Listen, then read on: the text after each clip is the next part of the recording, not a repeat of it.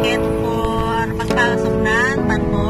Ang binayadan namin ay Hello guys! Welcome again to my channel. Um, ang aming ganap ngayon guys ay babiyahe kami papuntang Mindoro. Yan. So nandito na kami guys sa Batangas Pier. Yan. Sobrang puno kami guys ninyo. Yan. Super puno. Puno. Puno. Yan.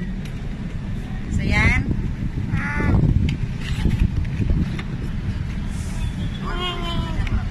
Oh, magkapa-inspection ka? Sa likod Ang no? hirap isun! Diretso mo lang. Diretso mo lang. So yan guys. Ito yung Bago kami sumakay ng ano ng barko, kailangan pang i-checking guys itong ito itong sasakyan yan. Saka yung mga laman nito. Yan, dito tayo.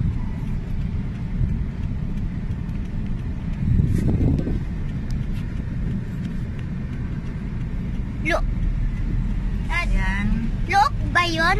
Hinay-hinay lang tayo guys pa kasi baka bawal. Dito tayo titigil para i-check. Stop for an inspection. Ins ano? Inspection. In- Inspection. inspection. Yan guys, yan. Nakalagay doon. So, i-check yan. Yan guys, oh, mag-check yung mga yan. Mami, Yan. bali na yung Hindi na balik. Dali. Ay. Tulog na si kuya. Yan guys, chinecheck na yung laman ng kotse. Pati yung likod. Ah! Ng likod, kailangan i-check. Super puno kami guys. Puno. Tap. Tap. Tap. Diretso na kayo sa ano halin. May number to sir. Din sir. Dito. Yan.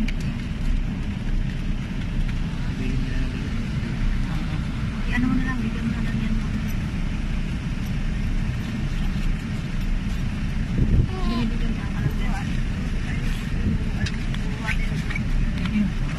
Thank you po.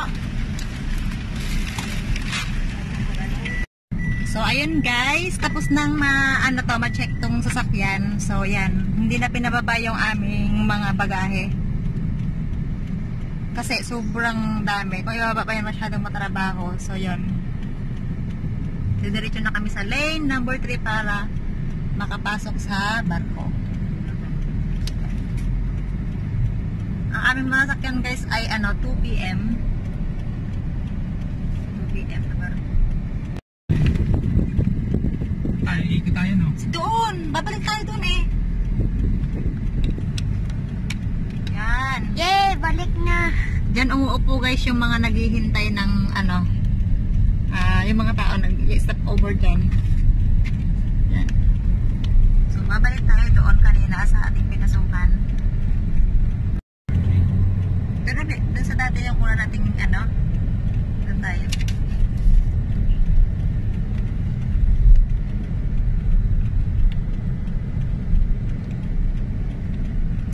Ano? Sa... So, nandito tayo guys sa Kuya lane Kevin. number 3. Dito tayo papasok. Yan. Lane number 3. Yung mga nauna na sa amin guys. Going to Occidental Mindoro din yan. Yan. Tangas. Oh. Ito guys, pagpasok guys ng pier, ito yung unang, pagpasok sa unang ano, yung gate doon. Ito guys yung babayadan. Tinatawag na arastre. So nagbayad kami guys ng ah, 179. So lima na kami. Anim pala, sama ng bata. Yan. Tapos, ang sunod dito guys, doon sa, ang checking ay doon sa may inspection ba yun? Inspection. Inspection. Inspection. Yun. Yan. Bulol. Wala naman kaming doon, di ba, na binayaran guys. So, yun, nagpadulas na lang kami ng konti kasi uh, pinalis na din kami kaagad. Kaysa naman ibaba namin yung mga bagahe namin para i-x-ray. So, okay na daw yun. Pinadiretso na kami. So, yun guys. Nandito na kami ngayon sa lane number 3. Nakapila na kami dito. Yan. So, ito na guys, yung aming ticket for pagpasok ng barko. Ang binayadan namin ay 2,700 Or, Four. So, um, libre doon yung ano guys, yung driver. Yon, yun kasama natin doon yung bayad guys ng ano ng sasakyan. Ang bayad ng sasakyan ay 1,800 na. 1,820. Yun, sa 1,820 guys, ah, kasama na doon yung, ah, libre na pala doon yung driver guys, tapos kami may bayad na. Tapos itong batang ito guys, libre siya. Nakalibre siya guys. Kasi sabi ng libre na yan kasi mukhang baby pa naman. Uy, uy. baby. baby ka ka. so, yan guys. O, ayan, ito na yung ticket namin. Pagpasok, ito yung aming ibibigay doon, mapakita. Yan. Konting pagtitiis na lang ha. So, ayun guys.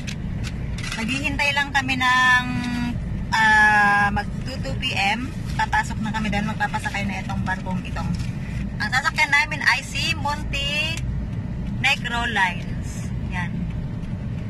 Ay muna kayo. Mga seryoso kayo eh. Seryoso, sisigil. Nagre-reklamo sila guys kasi ang dami lang inimpake. Ayun o. Kaya magtiis sila. Nagdala ka pa. Nakakaloka. Oh. Yan. Ito na guys, papasok na kami ng ang barko. Papasok na kami ng barko. Pakita ko sa inyo guys. Ano naman yan? Papasok na kami sa barko. Mukhang madami yata guys ang malalaman ng barko. Ng Montenegro.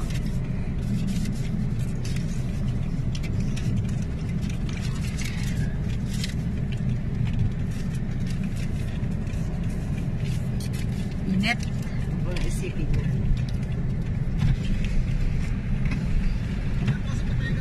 Biniyata sa gate.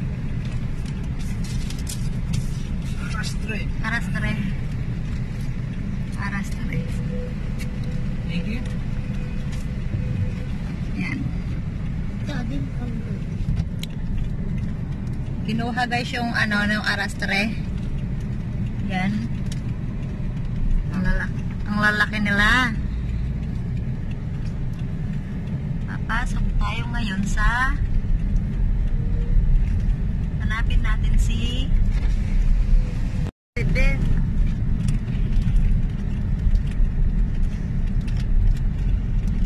Aalis pa tayo sa kotse. Malamang opo. Nasaan si Monte Maria? Monte Maria ba? Ano? Montenegro pala. Oo. Saan ka kanina? Si Montenegro. Ano bang ano? Ano mukhang bago eh.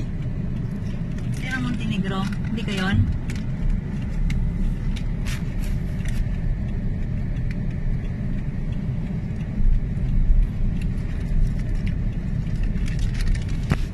Magpapark tayo din eh.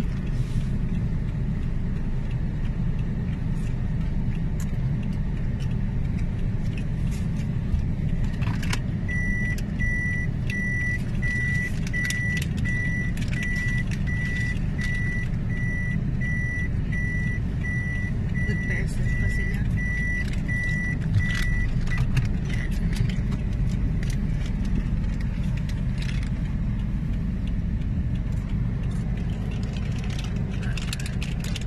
So ito na guys, nakapark kami ngayon dito. Pero dito muna kami pinark kasi may nalabas pa sa barkong sasakyan namin.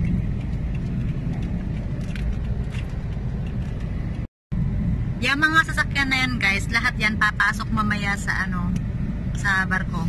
Sasakyan mga sa barko mamaya. Kami pala, kaming lahat.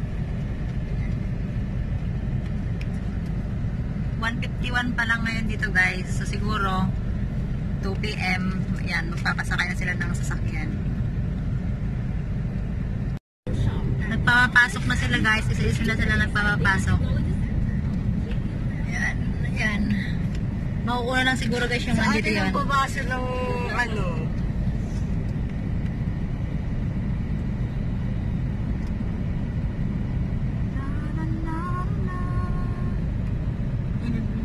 Ni ate. The best na ligaya. Yan, sunod-sunod na sila. Tanggal na yung mga isda.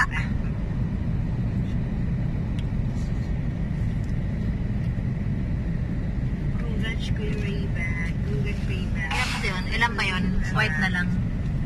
Tapos ito, tayo ano.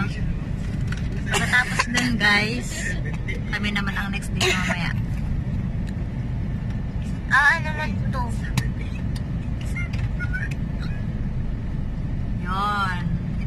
Guys, kami na ang sunod. Ito, ito, ito. Mega. Po.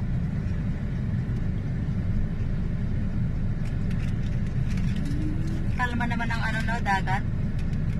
Nakalma. Hmm? Cuatro. Cinco. Wow. Wow. Na guys. oh. Wow. Hangin. Ala, Santa Soledad yung barko? Montenegro? Santa Soledad, Montenegro. Yan, medyo traffic. Medyo kalma naman guys yung dagat oh. Kalma siya. Going to Abra. So yan, ang pier guys. Dito ang pier. So itong barkong ito, ito ay papuntang Abra Occidental, Mindoro.